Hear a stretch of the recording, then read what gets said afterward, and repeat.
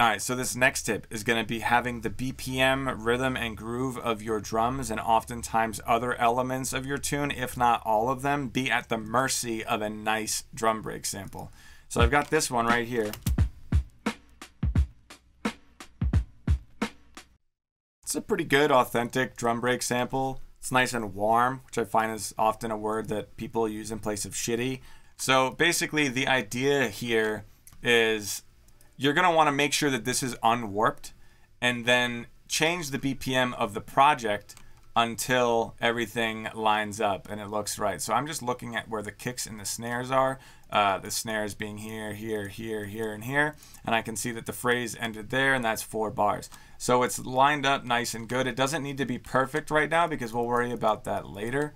But then let's say that you don't want to necessarily work at 87 beats per minute specifically. So the whole idea of this trick is yes, you are going to be at the mercy for the most part of whatever the BPM, rhythm, or groove of whichever drum break sample you decide to use is at. But there's a little bit of flexibility here because I'm going to use repitch. So if you're not already familiar, repitch basically works the same way that speeding up or slowing down a vinyl works, in that when it's faster, it's going to be at a higher pitch, and when it's slower, it's going to be at a lower pitch. So technically, it's not even really warping it at all, unlike any of the other warp modes. So yes, we are at 87 beats per minute right now because that's what this sample is roughly at, give or take a few decimal points. But if we wanted to go with a different uh, BPM, give or take I would say 10 or so. Otherwise, it's going to start to sound maybe a, a little uh, too computer music y, maybe uh, just a different vibe, not necessarily what I'm talking about here. If you want it to sound convincingly like maybe the listener won't even necessarily be aware of the fact that the drums were pitched up or down, essentially, um, then I would stay within, you know, a 10 or so BPM range. Um, so yeah, we're at 87 where it sounds like this. But let's try 80 maybe. Which it's even warmer here. Uh, it's even shittier here at 80. Um, or we could try 95.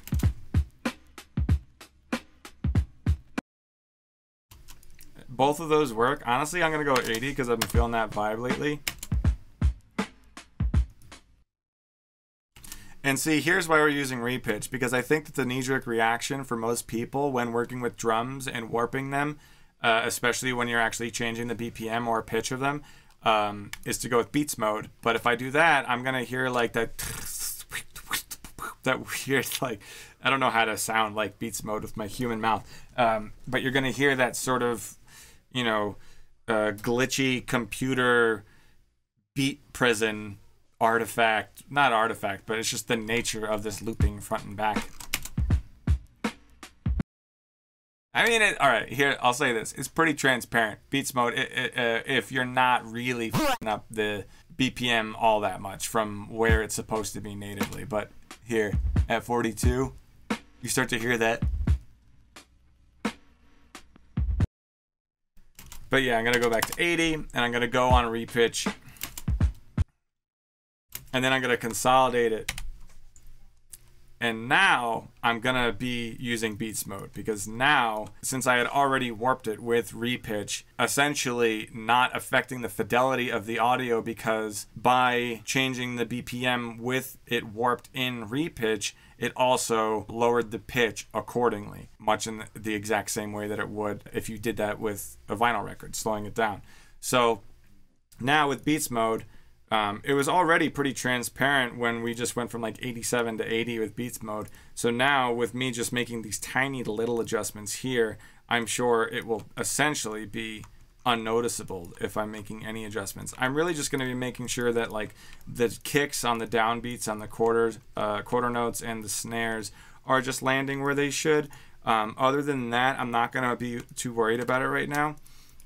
And now the next step is I'm going to be essentially limiting and reducing the dynamics of the drum break because I'm going to be layering it with my own kicks and snares, which as far as I'm concerned, when using a, an approach like this, my kicks and snares jobs are really going to be only to add punch and sort of just cut through the mix and make this drum break sound a little bit more beefy and just sort of give it a little bit more life and really just have the best of both worlds. Like have this slap on a nice sound system, but also sound raw and authentic. So I don't really need these to be very dynamic. So I'm just to slap on an EQ and I'm going to put a high pass on there and just sort of get rid of whatever, you know, malarkey is hiding down there. Yeah, just a little bit. I mean, I typically don't like to EQ samples if I really don't have to. Um, but usually, if there's a lot of boom and stuff going on down there, uh, I'll do it.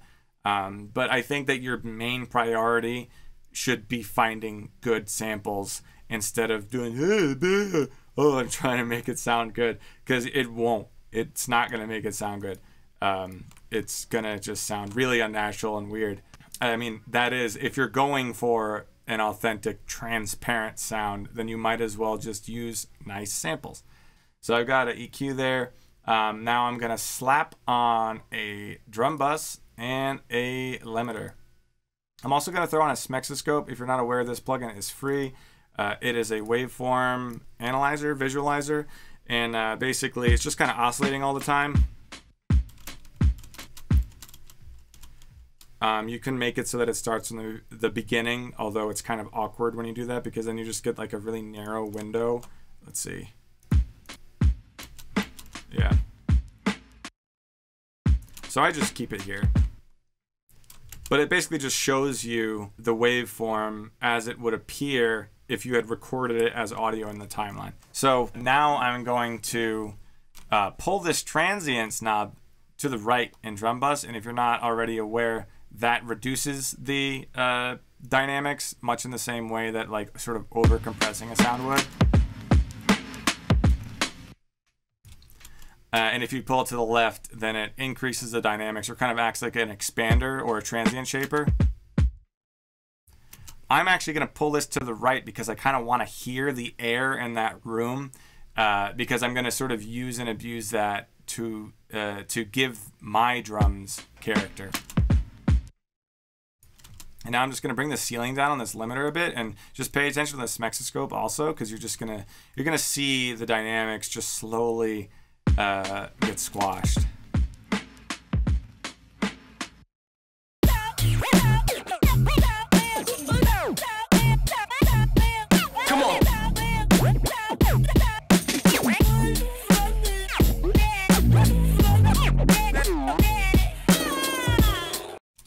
Also, in doing this, in reducing the dynamics, you also just inherently make it easier to mix down because there's nothing wrong with dynamics, obviously. Uh, this has nothing to do with whether or not dynamics are bad or good, but I think objectively speaking, the less dynamic a sound is, um, or the less fluctuation in volume there is, the easier it's going to be to mix down because the easier it's going to be for you to assess the average volume or loudness uh, and then make a decision on the mixer volume and go, hmm, how loud should I make this? Should I turn it down? Should I turn it up? If it's consistent in its loudness and you know how loud it is, it's going to be easier to mix down. So that's generally how I like to think about it. But now I'm going to take this a step further. I'm going to drag this drum bus here, uh, command click or control click and drag just to copy it. Now I'm going to pull this back, so I'm going to tighten it up again.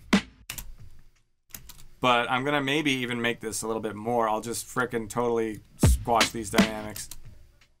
And then bring it back here, kind of just like a total inverse. And then I'll command click and drag this limiter to copy it over here. Sounding a little, we're really hearing a lot of pumping going on, which like I could try and diagnose right now, but it's really not that big of a deal if you're really just trying to make, you know, a dope, dusty drum beat. Um, and I would say that this is sounding like something I would use right off the bat. So I'm just going to freeze this and I'm going to flatten it.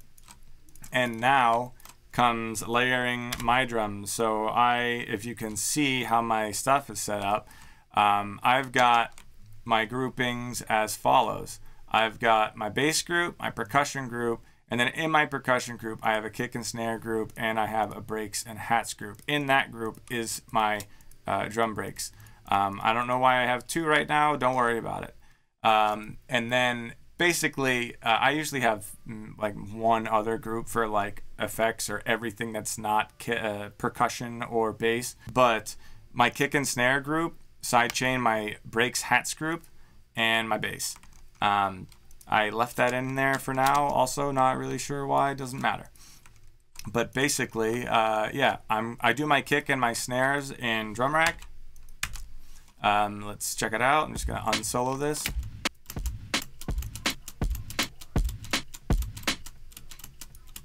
I'll turn down this uh, break sample a bit.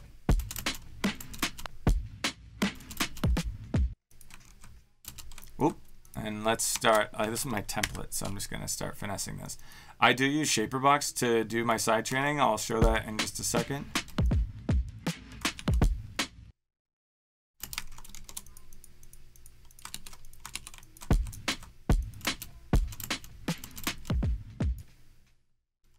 Check out my master. I do have a limiter on right now. Oh, my snare is mighty quiet.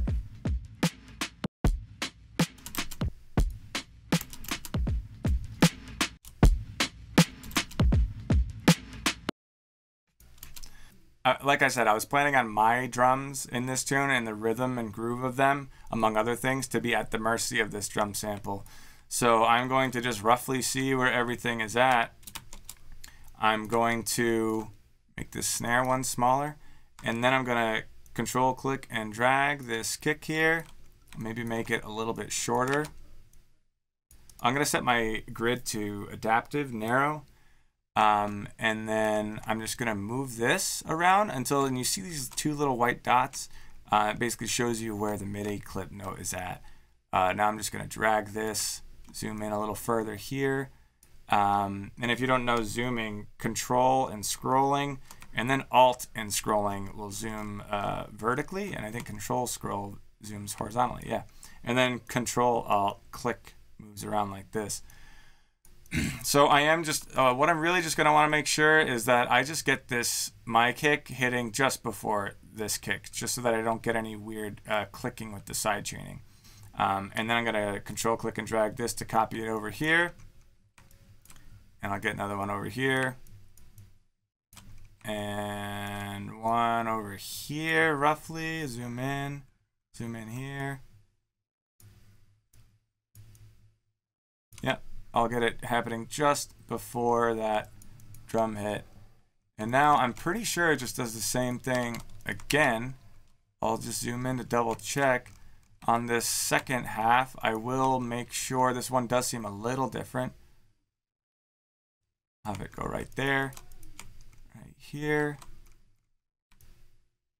I'll have this one go wah, wah, wah.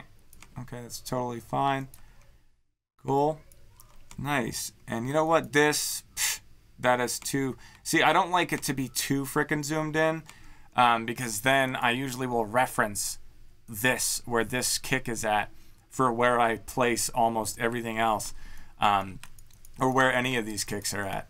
Um, so I like for it to kind of be consistent to something that I can go off of when I'm trying to sort of see where to place things later.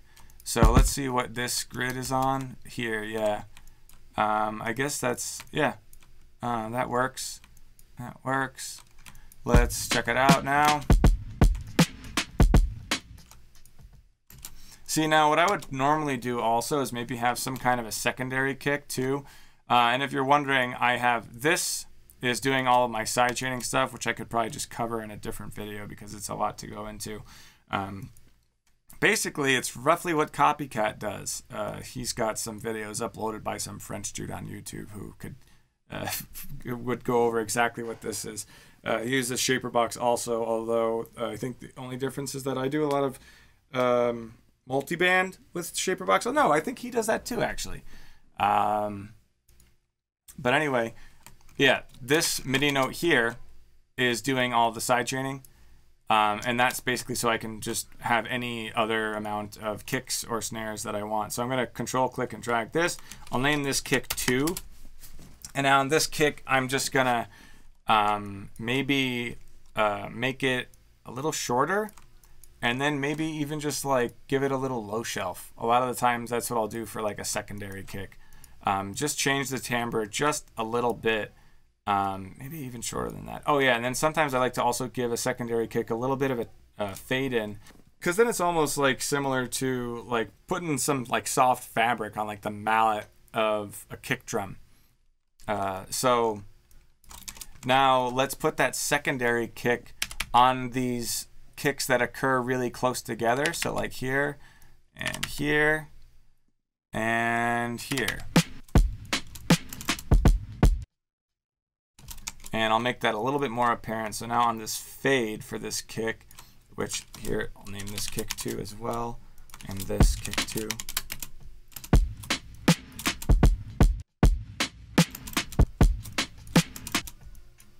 Maybe I'll even just make this a low cut. Nah, I think I'm gonna go with a low shelf.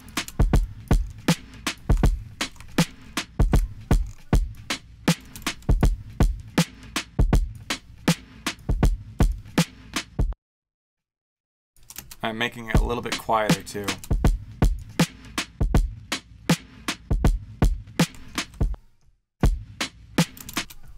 Nice, sweet. I'll duplicate this too, because why not? Um, what's the level of my snare at?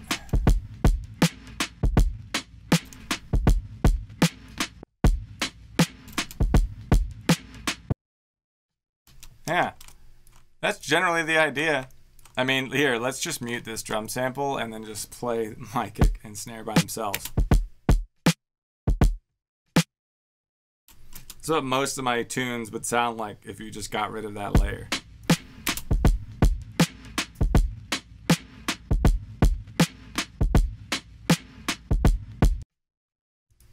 And now you could uh, make this a little bit more kind of believable just with some other layers. Um, I Here's my snare here, um, which I have a lot of processing on, which I'll go over another time. Um, but let's say I just want to add in like a top layer, which I totally recommend having some top layers for your snares and stuff at your disposal. Um, or you could buy my sample pack. I've made like a bunch of them for that. That's like what I'm going to use for this. It's a tackle box sample pack. I got like, I think I made over like 60 snare tops. Uh, actually, why don't I just go to it? Samples, snare samples, snare tops. It's just white noise basically with some effects going on there. Uh, I might not use this one, but I'm going to just set this to one shot. I'm going to turn off the filters, LFO, blah, blah, blah. I'm going to do a little bit of a fade in here because I don't want it to be fighting for that transient space um, with my kick and snare. It's the same reason why I removed so much of the dynamics from the drum break sample because I my all the transient information I really need for my percussion in this case right now um, without a, you know not considering adding any like fills in yet or anything like that um, is for my kick and snare. I want those to be the punchy things, and it's kind of awkward and weird and uh, generally a bad idea to be sort of having more than one transient thing happening at any given time. So for tops and things like that, a lot of, a lot of the times I will do a little fade. And I'll turn this down a little bit, maybe fade it out also a bit. And this might be not what I'm looking for, but one thing I also like to do is change the starting position. Let's see.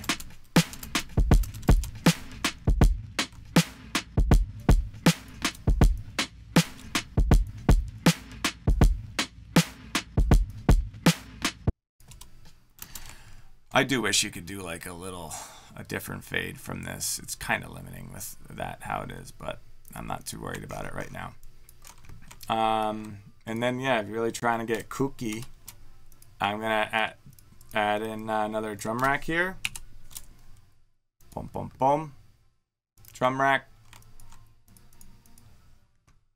And I'm going to just control F. I don't know, tambourine. Tamb.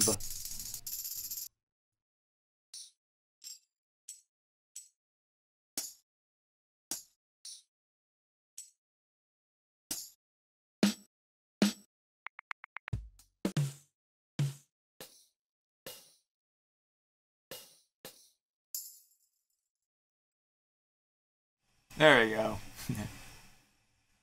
and now same thing here. I'm going to want to reduce these dynamics too because I don't give a shit about the transients or, or anything re- resembling a transient in something like this because transient stuff for high end nobody really wants or needs. You don't want some high end attack just molesting your ears. Uh, it's really invasive. That's the type of stuff that will subconsciously scare somebody off of the dance floor. Like they're going to be on the dance floor, they're going to hear some really sharp, transient, high end stuff. They're not going to necessarily realize.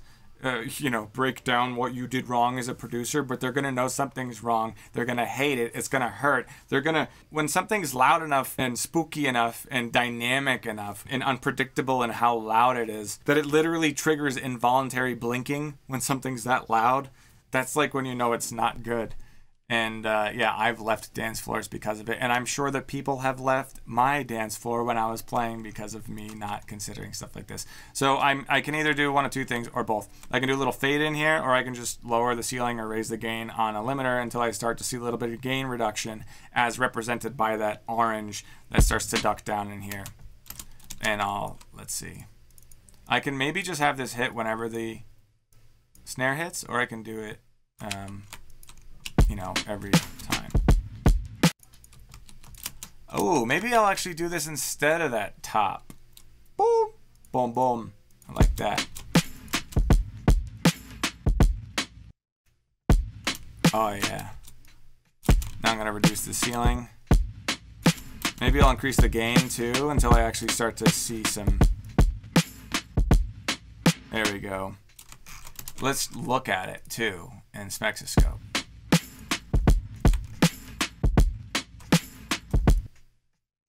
Let's turn off the limiter now. See, it's just a little more, uh, it's just a little bit more dynamic without the limiter on. Turn it on.